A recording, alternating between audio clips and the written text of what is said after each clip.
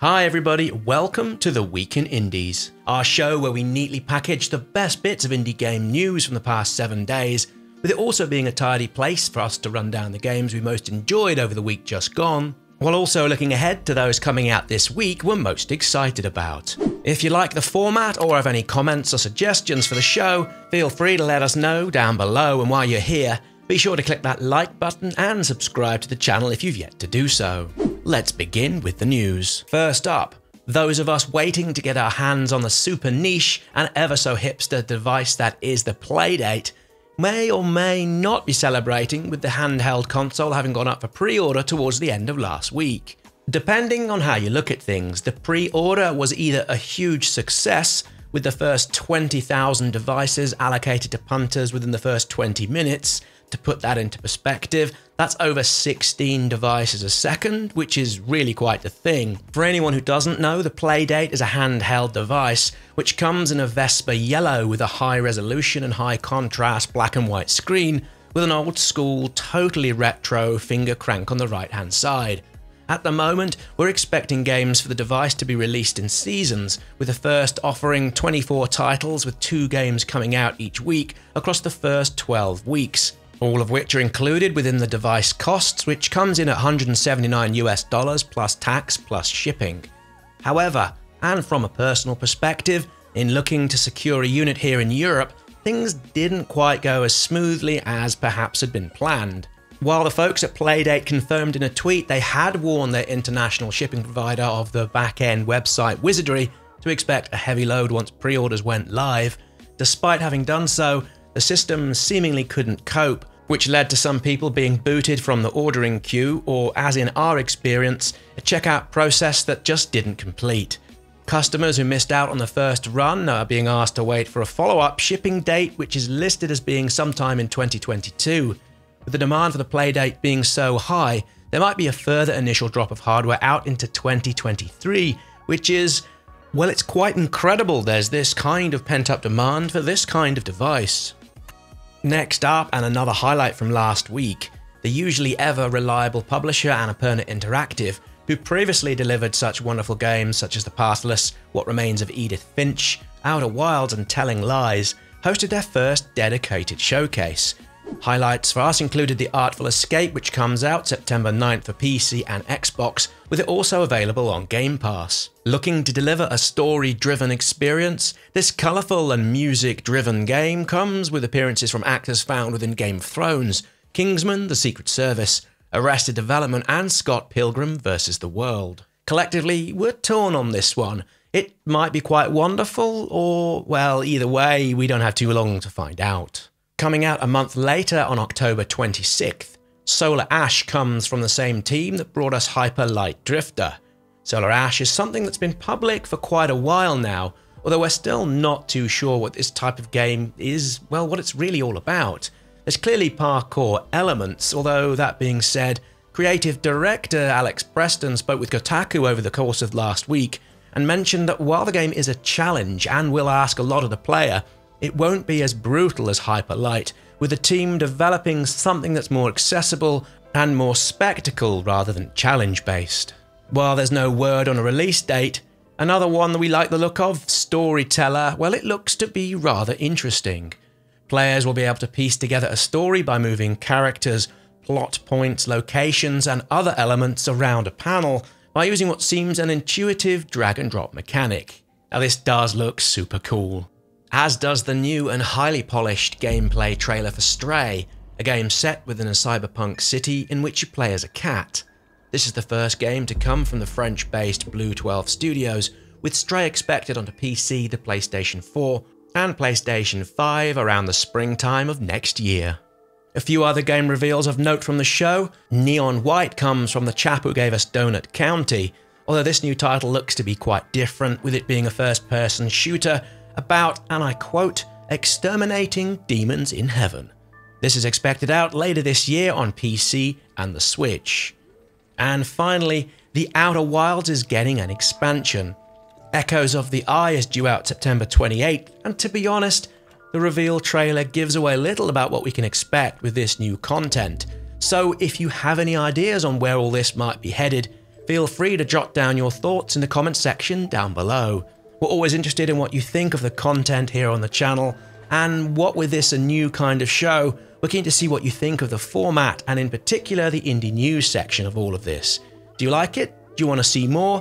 Do let us know. Moving again swiftly on, so what games did we play over the past week? Well, to be honest, much of the early part of this was spent chasing the final Umbrella achievement within Death's Door. This sees you only using the Umbrella as your melee weapon, and yep, so far, I'm stuck on the final end boss, which has a tricky middle section that so far is proving, well, I just can't beat the damn thing. He's hoping I can come back to you next week with an update, although, again, to be honest, I think this thing has me beat. As for other games we played, well, I played a lot of Grime, which came out August 2nd, via PC and with it headed to Steam and Epic. It can be enjoyed, at least for now, also if you have access to the Google Stadia service. Now, this is pretty darn good, although, like the game that follows, it does get off to a slowish start. I wanted action right from the get go, and having recently been very much spoiled with this via Death's Door, which throws a boss fight at you within the first couple minutes of the game, Grime's early section is almost glacial by comparison. That said, when Grime gets going, it really gets going, although there is a noticeable difficulty spike around the middle point of the adventure, and as for the final boss, well, that so and so made the final boss in Death's Door look relatively subdued. While the platforming and Metroidvania aspects of Grime are all well and good, I played and recommend this for these boss battles. They are in places, well, they're incredible, with you really needing to get down into the nitty gritty of how each of them sets about taking you down. There were moments of frustration in some of these battles, the one or two post death comeback bits where I relaxed only to get killed as this took me down with a strike from beyond was, well, I may have uttered a few cross words here and there, although on balance, these battles really are great fun. The progression systems and variety of weaponry also feels nicely judged. As for the story running through it, well, I could take or leave it, and yet as a whole, Grime is really rather impressive. We played Grime on PC with the settings all maxed out, with the code having been supplied by the publisher for review purposes. Next up, and on paper, I should love the Ascent, with it giving vibes of a Diablo action RPG or within a twin stick shooter. Played on my, albeit pretty high end PC, and at 4K with a solid 60 frames per second, it looks magnificent. The same's true across my Xbox Series X and S, with both of these consoles handling the busy on screen antics with seemingly little or no issues at all. The developers have nailed that cyberpunk aesthetic. Everything looks, while all garish and bright, it has a fine sense of the nitty gritty and worn feel these places should have. While all sparkly, look a little under the surface and everything feels jaded and tired. Sadly, that's also true of the initial part of the game. It took an age to get going and felt initially super slow.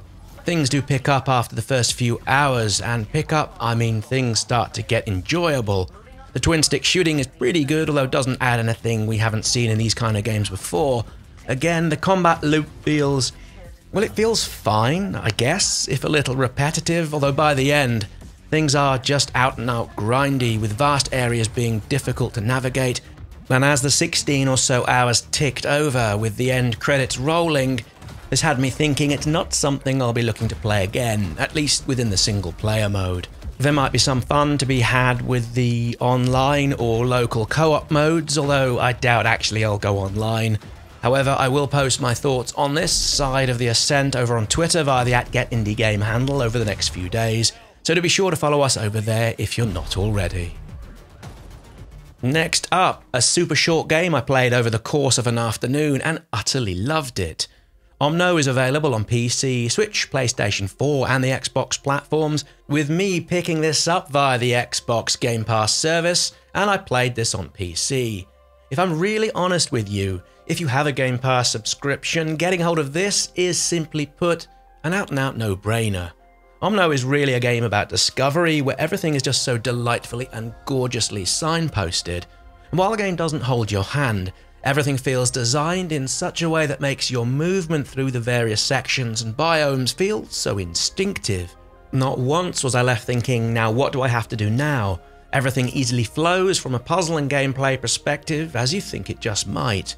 Sure, it's short, this is a single sitting game, or perhaps one to play over the course of a few evenings. There are a few issues here and there with the platforming. Some sections require that little bit too much in the way of going back to cover ground already trodden, and its liberal use of ideas and things you've seen in other games is, well, not really needed. Although, as a combat free little distraction, Omno is an enjoyable piece of escapism. So, what are we most looking forward to coming out this week? Well, actually, out towards the end of last month on PC. As a group, we have still yet to pick up and play No Longer Home. From what we've seen of this on a few review sites and from comments on Twitter, this should, by all rights, be something we should really enjoy. It's a narrative point and click adventure telling the story of two London based flatmates who are forced to move out, one of the characters needing to leave the UK as their visa has expired. It promises a tale about the process of moving on, separation, and the anxieties and opportunities all this affords. Following on from its recent publicly available demo, Death Trash is coming out this week in early access, with it supposedly coming with around 5 or so hours of gameplay. This isometric pixel art RPG looks really interesting, with the finished product expected to come with more than 20 hours of activities. All of this has been in development for well over five years, and we featured it a few times over the past couple of years. Everything here looks deliciously macabre, and while I suspect I'll play most of this early access version of the game within the single player, I will be looking forward to seeing how couch co op mode works in what's supposed to be an easy pop in and out style of gameplay. This is expected to be in early access for around a year or so, and if this new version is anything like the recent demo, it should be a real joy. Up next, in the final game we're looking to play while away from the office, comes out August 5th on the Switch. A Monsters Expedition comes to the platform with it already out late last year on PC and via Apple Arcade. The port comes with more than 100 new levels, which will also be pushed to the other platforms as a free DLC. We missed this when it first came out, and the relaxing nature of this open world puzzle adventure should perfectly suit this holiday week ahead, and act as something of a come down, so to speak, from the fast paced action that is Death Trash. So that's it, that was the week in indie gaming. Let us know what you think of this new show format down below, and if you liked it, give that like button a gentle caress, and if you haven't done so already, please consider subscribing with all the notifications turned on. Either way, many thanks for watching, and we'll see you all again here soon for more indie game videos.